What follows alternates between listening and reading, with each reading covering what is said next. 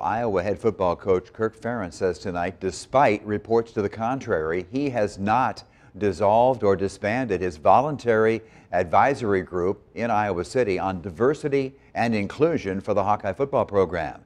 Remember that advisory committee was formed in the summer of 2020 after several former African American Hawkeye football players said Iowa needed to improve its program culture for African American players. With that in mind, let's go live right now to Iowa City reporter Travis Breeze with what was said over the weekend and what has come out late tonight. Travis, tell us more.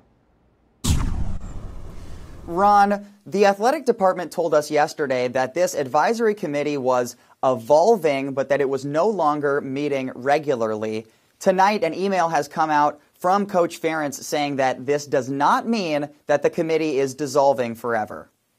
In the summer of 2020, Former Iowa football players said on social media that the program needed change. They alleged that strength and conditioning coach Chris Doyle had been discriminatory, but that he should not be a scapegoat for the entire program. In the following months, Iowa made several changes, including firing Coach Doyle, allowing current players onto social media, and relaxing dress code rules. There was also an advisory committee where 10 former players recommended changes to Ferentz. This weekend, it was reported that the committee was not meeting regularly anymore. But Monday, the Des Moines Register obtained an email from Ferentz to Hawkeye families saying the group is still active, saying, quote, Several members indicated their interest in stepping away from the committee in December as they felt their work had made a real impact and the time was right to transition to a new group of voices. Therefore, I made the decision to release the members from their commitment.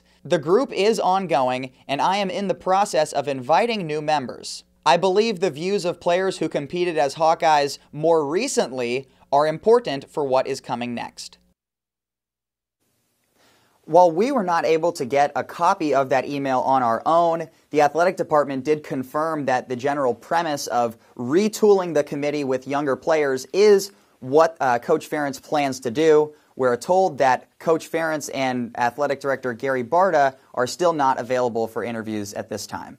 Live in Iowa City, Travis Breeze, News 7, KWWL. Now, Travis, thanks for the update tonight. As you mentioned there, Coach Ferentz says he will be adding former players to that volunteer advisory group in the near future. In the meantime, remember, eight former players have filed a discrimination lawsuit against the university and the football program, but that lawsuit won't even go to trial, we're told, until sometime in 2023.